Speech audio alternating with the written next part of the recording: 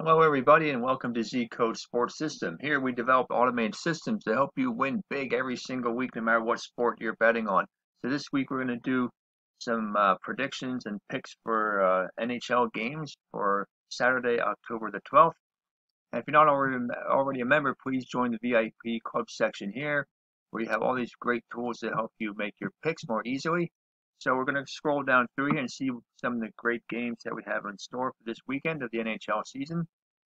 We're going to start with Edmonton Oilers and the New York Rangers. Edmonton is off to a 3-0 start. You can see here that they have wins against uh, Vancouver, Los Angeles, and the New York Islanders. Their average status. The Rangers are off to a 2-0 start, having beaten Winnipeg and Ottawa. And they are also average status. If you look at the power rankings indicator, you will see that the Rangers jumped from plus 5 to plus 21 just over the last couple of days. Edmonton dropped from plus 27, but they're still ahead of the Rangers in this category with a plus, uh, 23 rating. Uh, you can see down here the totals predictor. If you're considering the over and under, you will see that the, on the red line here, that Edmonton is playing in games trending well over the blue line right there. And you also see that the Rangers are trending over the line as well. So betting the over under is probably a very wise choice going the over in this game. If you take a look at the stability early on, although the season has just started, you get a look at how stable the two teams have been. You see the Rangers here, if you look over the left here, it says the Rangers are one and Edmonton is zero. So the Rangers have been a little bit more stable, performing more consistently according to their favorite underdog status. If you look at what the two teams did against each other last season in the head-to-head matchups, you will see that Edmonton won both meetings. They won three to two at home and two to one on the road. I'm seeing this trend continuing, and if you see here, I put this uh, comment here under math. it has the uh, little write-up about the about the matchup, what I think is going to happen, and I predict that Edmonton will continue their hot trend and take this one on the road go down through here. I'm going to do a few more of these games here. The full slate of schedule, as you see. And the next one we want to take a look at is the New Jersey Devils at the Boston Bruins. You see, New Jersey has average status. They have uh, they're 0-1 and 1 so far this season, tying. Yeah, they're 0-1 and 1 this season so far, and Boston is at. Well, they have won every game so far. They're off to a really good start. They are 3 0 so far this season, and they are burning hot compared to average for New Jersey.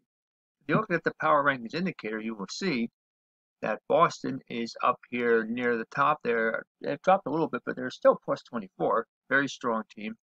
And New Jersey is down here at plus 10. If you take a look at the head to head matchups between the two teams last season, you will see that Boston won three out of the five games, and one, winning the last one in a 2 nothing shutout. And they also have a 1 nothing shutout in there as well. Considering the over under for this game, well, let's see what we got here. New Jersey is trending in games well over. Boston is trending in games under. So it's kind of a wash. I would say probably avoid the over under in this game because they're trending on opposite sides of the line. Let's take a look at the volatility oscillator. How stable have the two teams been thus far? Well, you can see Boston is at plus one. New Jersey is at minus one, so New Jersey has not been very stable so far in just their two meetings this season. So, what do we think about the overall matchup? It's really hard to think that New Jersey has much of a chance in this one. Boston is clearly a much stronger team, and they're playing at home. So go with the Bruins to continue their hot streak and win this game. And we have a few more great matchups here. This one's a, an interesting one as well. Toronto Maple Leafs at the Detroit Red Wings. So so far this season, Toronto is two one and one, and Detroit is two and one. Toronto is burning hot, as you can see, and Detroit is, excuse me, Detroit is at ice cold down at the moment. If you look at the power rankings indicator, you will notice here that Detroit is plus 27 Toronto is plus 25. You can see Detroit made a huge climb just in the last couple of days from all the way down at zero. I guess their early two and one start will do that. So that's where, where they're at at the moment. If you look at the head-to-head matchups from last season, you will consider this. Eh, maybe you'll consider it strongly, maybe you won't, but it's a good thing to look at. Toronto won the last two meetings of last season, and they actually took the series between the two teams three games to two. Considering the over and under, let's take a look at that as well, as we always do. You can see Toronto is trending in games playing, uh, trending under in the games. You can see the red line below the blue line. And you can see Toronto, excuse me, Detroit is trending in games over the line. So again, it's kind of a wash, so probably best to avoid the over under in the games in this series. How stable have the two teams been early on? Detroit very unstable at minus two. Take that into consideration when you look at their favorite underdog status, and Toronto is currently at zero. The way I'm looking at this matchup here, I'm thinking that uh, Toronto took through the five last season. And I just think that they're overall the better team. And I'm thinking maybe a slight road upset to uh, Detroit, maybe a uh, side home favorite. The line's not out yet on that. But I'd say pick Toronto in a very narrow win, perhaps doing it in overtime. Look at a couple more here as we scroll down through the list. Very full slate of games here. Calgary at Vegas. This is probably the matchup of, of the game of, of the of the day. Excuse me two Pacific Division teams. Calgary won one and one. Vegas at two and one. If you look at their status right now, Calgary is ice cold down. Vegas is burning hot at the moment. If you look at the power rankings indicator, you also see that Vegas is at plus 25 and Calgary very strong dip over the last you know week or two. They're down to plus seven. Over and under considerations. Well, this one you're going to go under. If you take a look here, Calgary is trending in games playing, playing under. And you can see Vegas is trending in games under as well. So go with the under in this one. That is probably a very safe bet. Let's take a look at the head-to-head -head matchups between the two teams. Again, it's pretty evenly matched as far as the season series goes. And if you look at this here, the team that was at home won every time. Calgary won three out of the five games, all of them at home. And you can see Vegas has two wins in there also at home.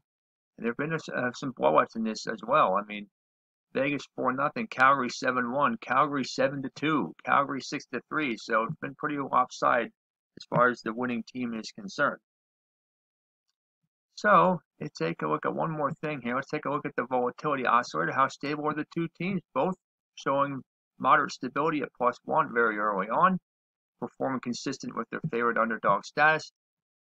So Calgary took, like again, Calgary took three to five meetings between the teams last season, but I think that Vegas playing at home, they're burning hot at the moment. I think they will get off to an early lead in the season series, and they will take this game.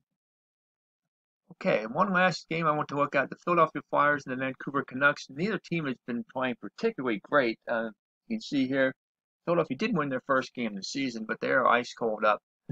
Vancouver's ice cold down, having lost their first two. If you want to take a look at the power rankings indicator, you can see Philadelphia is way down here at plus two, and Vancouver has dropped significantly just since October 2nd from plus 20 down to plus 8. You can see their clear downward trend as well. Head to head from last season, well, not really too much to look at, only two games, both teams winning at home. Vancouver in a 5 to 1 blowout, and the Flyers with a 2 to 1 victory. Thinking about the over and under, in this matchup here, you would probably not bet either way. I would say to avoid it. But, well, here's the volatility oscillator first, excuse me. So in the volatility oscillator, you will see Vancouver is plus 1 to plus 0. Now we'll take a look at the uh, over under. In the totals predictor, you will see Philadelphia is playing in games trending under the line. Vancouver is playing in games trending over the line. Usually when one is under, one is over, I say to avoid it because they're trending on opposite sides of the line. So that's what I suggest again in this game. So the big thing I'm seeing in this one here, though, is that Vancouver has scored only two goals this season. Their offense has been very bad, and I see those troubles continuing. The Flyers don't put up a huge number of goals, but I don't think they'll get shut out. I think Vancouver scores one, two at the very most. I would be surprised if they even score two. So I think Philadelphia will head in to Vancouver and take this game on the road. So you have it for the picks. But before I conclude here, I want you to take a look here at the Z code cash contest we have here for right now. You can win a new iPhone 11. So just take a look at this right here. You can see what's happening. Um, you know, basically just read this and see what you need to do in, uh, to uh, enter this contest, and you could win. You could win a new iPhone. So there you go. So there you have it. I hope you enjoyed this video. I hope you will enjoy the NHL season. and happy betting, and we will see you next week.